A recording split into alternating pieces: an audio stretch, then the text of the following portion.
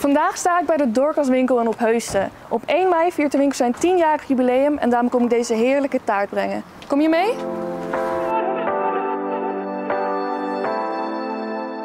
Goedemorgen. Gefeliciteerd met jullie jubileum. Om dat te vieren heb ik een heerlijke taart voor jullie meegenomen. Dus eh, ik zou zeggen, snij hem lekker aan.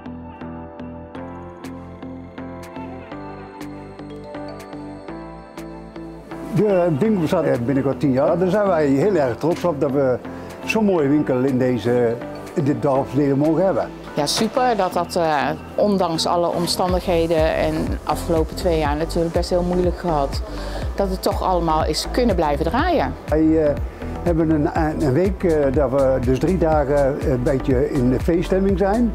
En er komt een stempelkaart. Als je stempelkaart vol hebt, dan krijg je uh, 5 euro. Het is zo al heel gezellig in de winkel. Maar uh, ja, als er een extra feesttintje aankomt, dat is toch altijd wel weer ja, toch iets extra's.